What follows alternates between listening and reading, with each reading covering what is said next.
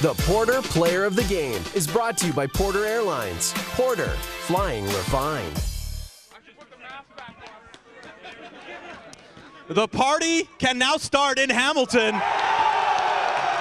We are back live, coast to coast on the Score Television Network. Before we get to presenting to the Yates Cup, first I'd like to call on Lori Wagner from Porter Airlines to present the Dalt White Trophy for the MVP of the 2011 Yates Cup. And that player is none other than the quarterback, Kyle Quinlan. Kyle,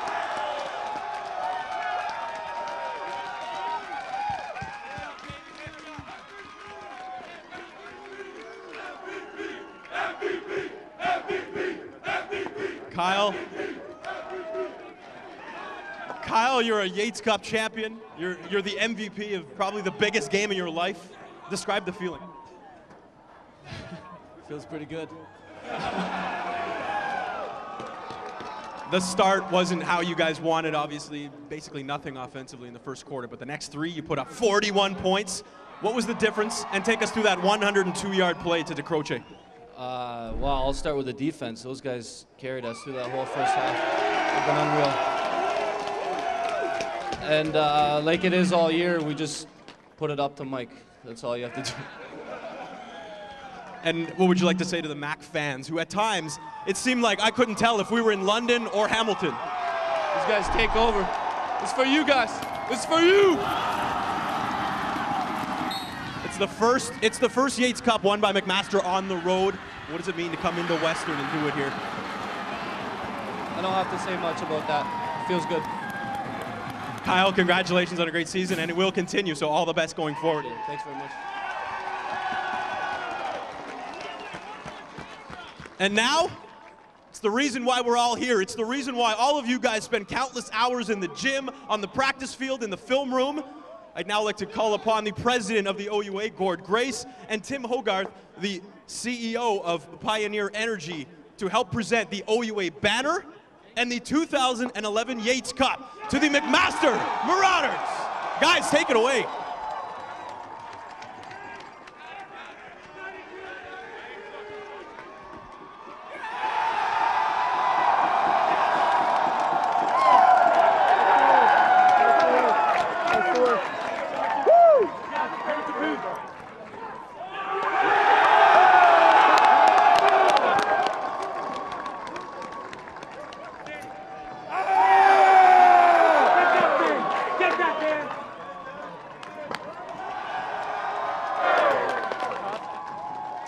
While, while the celebration continues, Steph Ptaszek, I just want to ask you you've been to the top of the mountain as a player, and now nobody can take it away from you.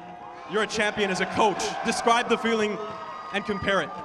Uh, as a coach, this is my football family, and it's a family that I've chosen and worked with for six years. It's more emotional than anything I've ever experienced in my life. So proud of these kids. I'm so proud of us. When you look back to the week two loss to Western, in a way, could that be a good thing? It kept you guys hungry, and it seems like right now you are peaking at the right time. Well, it definitely humbled us, uh, and we had work to do. Uh, the regular season was lots of adversity and, and, made us stronger for the real season. And as you see, we're playing pretty good in, this, in the second season. You've been a part of some really great teams. Is this the start of something special for McMaster? Yeah, we're not done. We're not done. Uh, we can be proud of ourselves, um, but never satisfied. Gary Jeffries taught me that. Uh, and so these kids are getting up early tomorrow morning, and we're going to take a shot at a bigger mountain. As good as the view from, up, from up here, we want to go a little higher. Congratulations, Steph, on a great season. All the best going forward. Thanks very much. Get in there and celebrate.